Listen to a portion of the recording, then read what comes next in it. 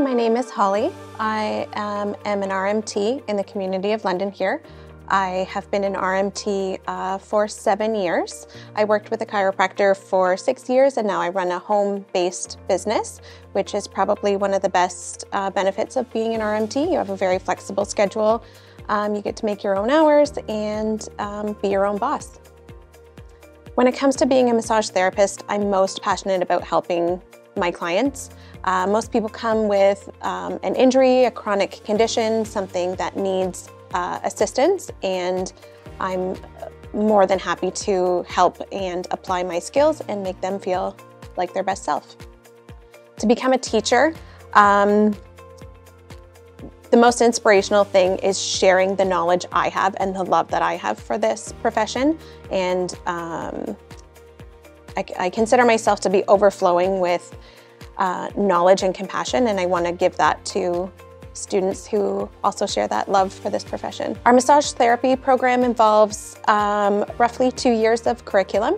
We get into anatomy, uh, physiology, our hands-on techniques, learning all sorts of conditions of the body and how to treat them. So we can see a very diverse um, group of people and we are able to uh, provide safe and effective treatment for multiple groups of people. Students will learn their hands-on techniques, um, how to treat a, a, wide array of conditions. Uh, they will learn learn the human systems of the body as well as anatomy of the body. Students are on campus uh, five days a week. We spend a lot of time hands-on that involves um, exchanging massages, learning new techniques, trying them out on each other, um, uh, working on some remedial exercise as well to incorporate that into uh, a full treatment.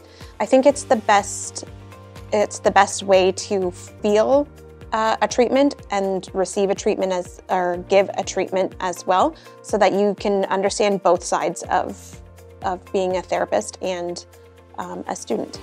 In your last uh, semester of the program, you actually get to work in public clinic. So what that means is two days a week, we have, um, we have people from the community come in and receive a student massage.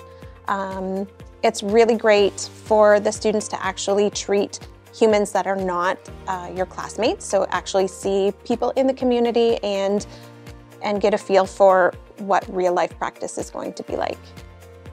Student, students tend to enjoy the hands-on aspect the most.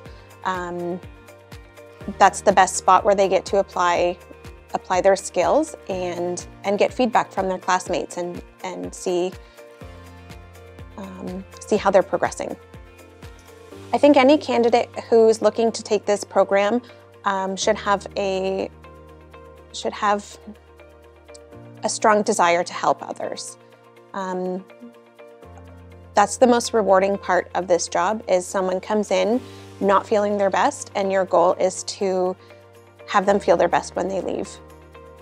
Right now is an interesting time for massage therapists. There's such a high demand in our community. There's actually more jobs available than there are therapists to provide them. So this is a really, really great opportunity to become a massage therapist and really kickstart your career and, um, and be able to help as many people as possible.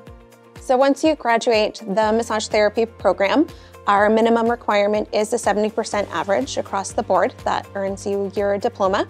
And then you are required to um, register with the CMTO, that's the College of Massage Therapists of Ontario, and their job is to ensure that you are safe to protect the public. So what that means is you've demonstrated to your college, us as Anderson College, you're able to demonstrate that you are ready to go to the CMTO and perform the required tasks, uh, the required testing, and, um, and then they, um, they're the ones who certify you and then you're able to uh, start working in the field. Some advice for a future student it, uh, would be to um, come to school or be prepared to come to school and be ready to learn.